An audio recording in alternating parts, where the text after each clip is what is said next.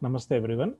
Uh, today, we'll be discussing about protocolized glycemic control in an intensive care unit. And uh, at the outset, let me thank uh, Indian Society of Critical Care Medicine for giving me this opportunity.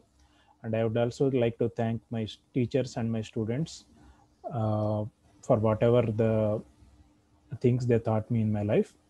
And uh, so let us go into the concept. So before we go into any concept, you need to understand these questions of uh, why, when, and what.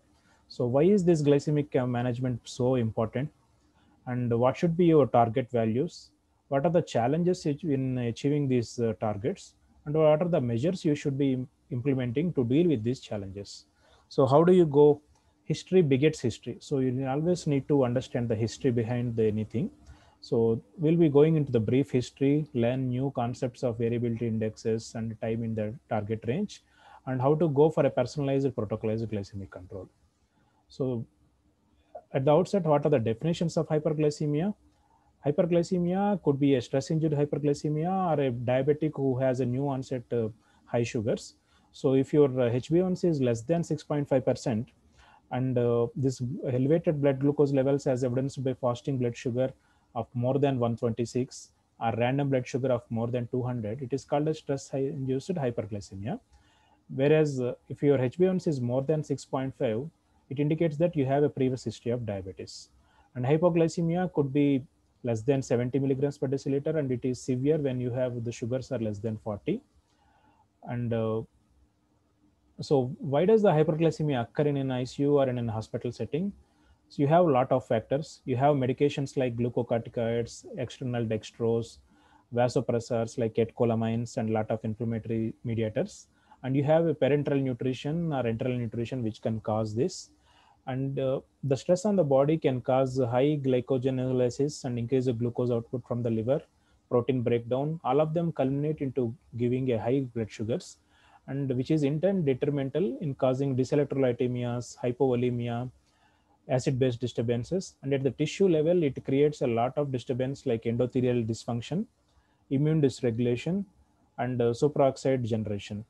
So ultimately, it culminates in organ failure and bad outcomes. So how does the critical illness affect this? Critical illness, uh, you need to, for this one, you need to understand what is disposition index. Disposition index is nothing but a multiplication factor of its sensitivity of insulin for the body and the production capacity of insulin corresponding to the blood sugar values by the pancreas. So as the disposition index comes down, your vulnerability to tolerate the glycemia, high glycemic sugars uh, gets down. And uh, in critical illness, there is a decreased first phase response of the insulin. So this creates a, a behavior of the glycemic control. So what are the prevalence of hyperglycemia in critical ill patients? Uh, as you can see in this slide, uh, by a good study published in intensive care medicine, critical illness induced hyperglycemia is up to 50%. And uh, in other up to 22% uh, already recognized diabetes can cause high sugars. And uh, unrecognized diabetes or de novo diabetes can cause high sugars in up to 5.5%.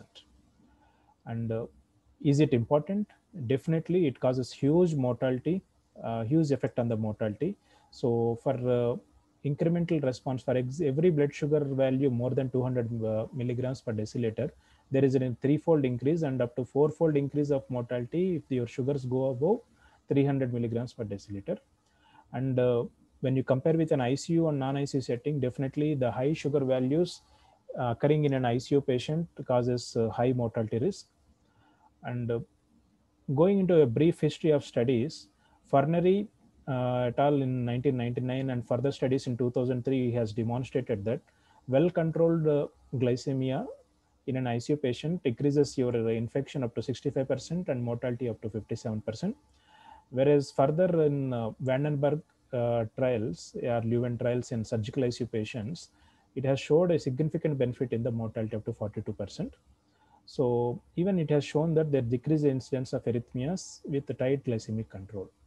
So coming to the benefit of tight glycemia versus liberal glycemia control, uh, tight glycemia basically indicates that your sugar should be less than 110 up to 81 to 110 in majority of the studies.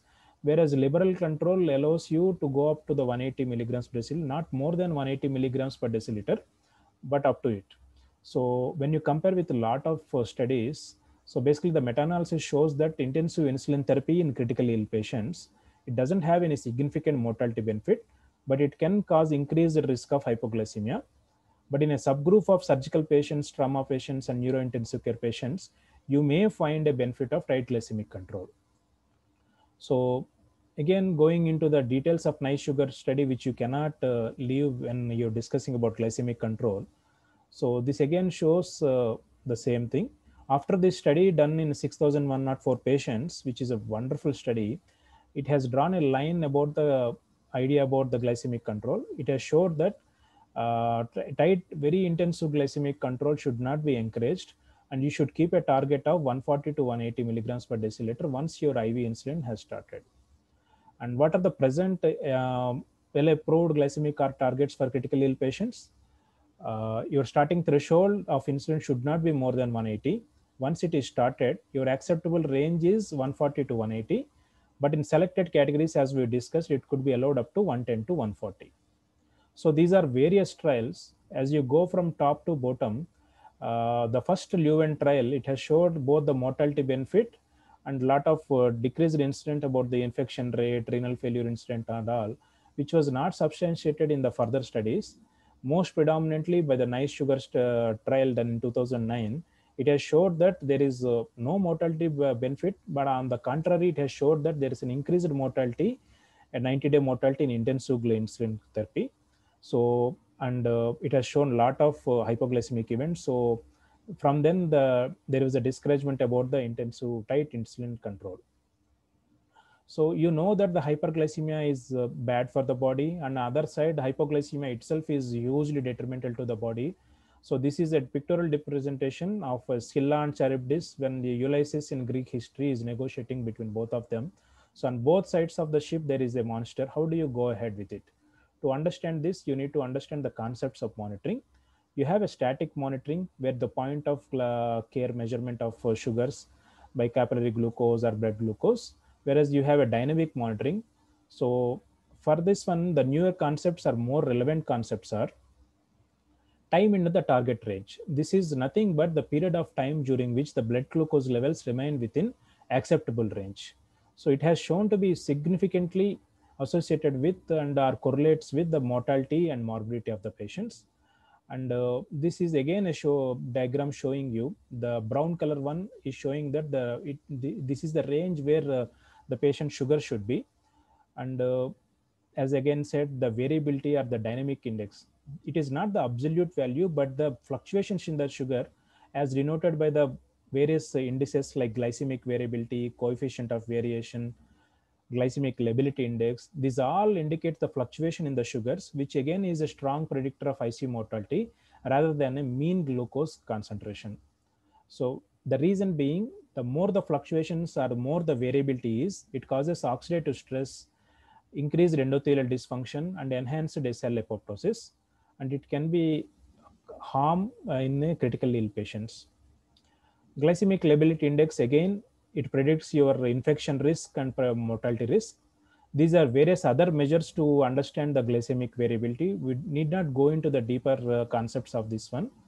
And uh, again, the uh, basic uh, understanding is that uh, you need to prevent the fluctuations in the sugars. So when you understand the glycemic control of a patient or in an ICU or an hospital, at a hospital level, you can uh, have it is this concept is called glucometrics where you can have total patients recording fed into the uh, computer. It can understand various uh, uh, hypoglycemic episodes, results of total patients. when you go into the personalized glycemic control, so is each patient different from the other patient? Definitely apples are different from oranges. So for this one, you need to understand these concepts. Diabetic paradox. So where you know you have a poorly controlled uh, diabetic patients, they tend to tolerate the fluctuations in the sugars better when you have a new diabetic or a tightly controlled diabetic or non-diabetic patients. This is called as diabetes paradox. So they can indicate the pre-morbid diabetic status impacts your uh, glycemic control or the variations which you can tolerate. So this is called as the concept of relative hypoglycemia. It is not the absolute value, but it is the relative relative hypoglycemia compared with your baseline. So you need to have a chronic baseline or acute baseline to understand the drop in the sugars. So hba1c does it correlate? Definitely every patient from now i think you need to you need to get a value of hba1c at an admission. So it, it gives you a uh, background of the control of the sugars so for non-diabetics and diabetic patients with hba1c less than 7% you need to aim for a tight control maybe 140 to 200 whereas you should aim for a higher control of 160 to 220 for a diabetic with hba1c of more than 7% they tend to tolerate these sugars better. Uh, another personalized uh, glycemic control occurs in neurointensive care patients where these patients it was showed in a multiple subgroup analysis that and in multiple studies that the tight control of the sugars between 8 to 180 to 110 uh, appears to decrease the icp de uh, decrease the complications of the patient but again if you compare with the initial period and the later period initial period try to keep a liberal control whereas in a later period of traumatic brain injury patients try to keep a stricter control so dynamic control of the glucose monitoring, a dynamic glycemic control comes in understanding with continuous glucose monitoring. It is nothing but uh, instead of intermittently checking the sugars, you will have some measuring site, some catheter which continuously monitor your glucose. Uh, first CGM was started in US in 2005.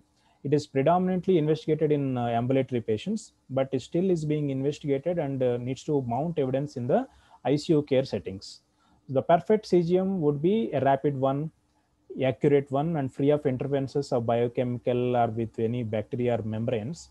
But in it, the sensor needs to be inert. It needs to be robust. There should not be invasiveness. But as you know, there is nothing perfect in the life. So you need to get a compromise somewhere. And the problems uh, being uh, sensor drift that the sensor gets blunted over time because of biofilm.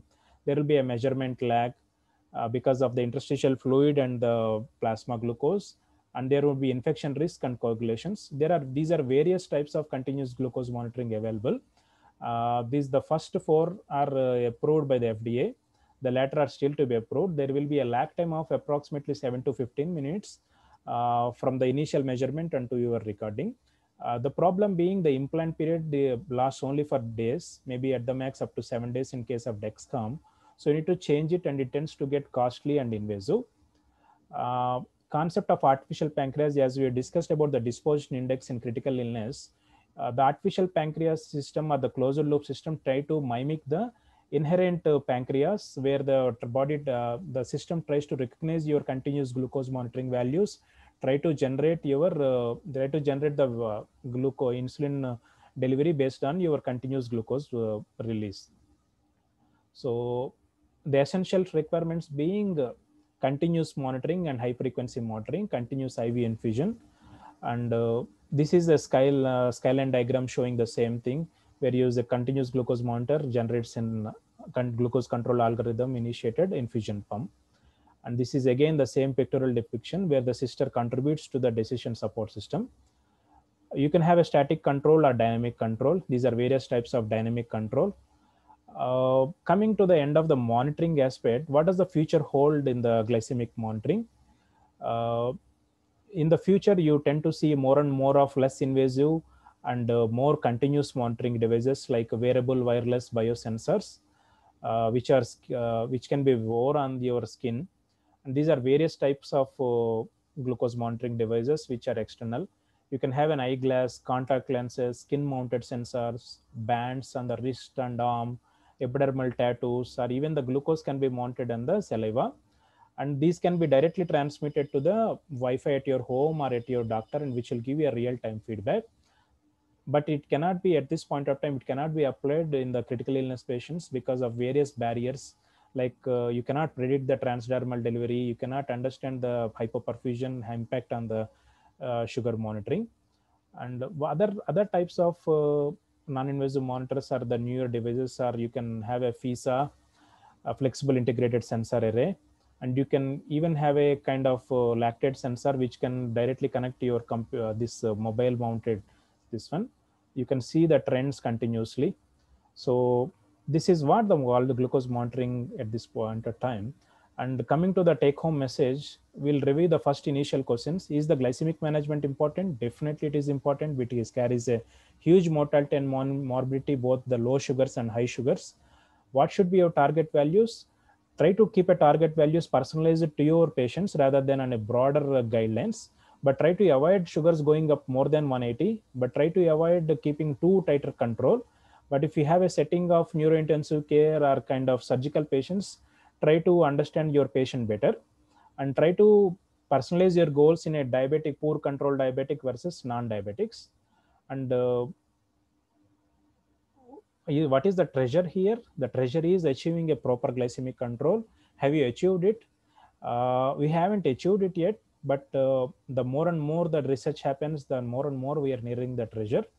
And uh, the take home message is try to understand the dynamic indices like glycemic variability or time spent in the therapeutic range and uh, personalized the concept is personalized protocolized glycemic control rather than uh, stubborn thought of keeping a tight protocols in your ICU.